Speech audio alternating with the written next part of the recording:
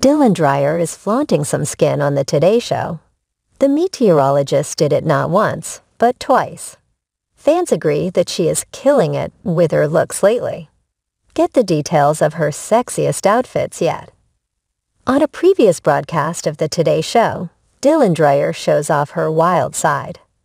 The 41-year-old wore a black, short-sleeved blouse with a tiger print skirt. Dylan flashed her legs as she sat down in her chair.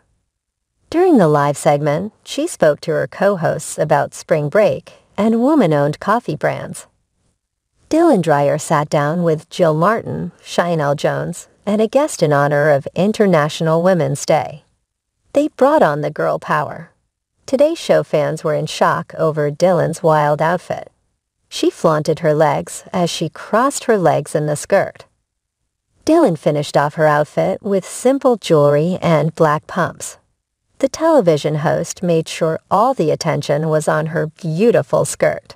Fans couldn't help but notice that it fell below her knees. However, Dylan flaunted her legs as she sat next to her co-hosts. On Thursday's broadcast of Today's Show, Dylan Dreyer bared her legs again. This time, she wore a pink tweed mini dress with white ankle boots. She finished off the look with tights and her blonde hair worn in waves. Dylan had fans gushing over her retro-inspired look. She reported on the weather forecast while Al Roker was out. Fans were concerned about the weatherman, but he's doing well. He's currently on vacation. During the third hour of the morning show, Dylan Dreyer reported the stories of the hour with co-host Sheinelle Jones and fill-in co-host Jill Martin. Craig Melvin was also off this week. Fans were distracted by Dylan's legs in the little number.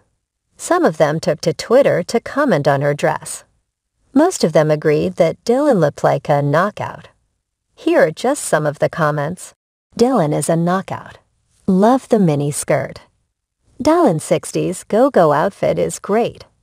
I am loving Dylan's outfit today. Dylan has been killing it lately with her outfits. Dylan Dreyer has been playing it up with fashion on the Today Show. However, she keeps it real on Instagram. Fans praised her for the natural fresh-faced look she sported when she played with her sons. They think she looks better when she's not wearing makeup. What are your thoughts on Dylan Dreyer showing some skin this week on the Today Show? Do you agree that she's killing it with her outfit choices? Sound off below in the comments section.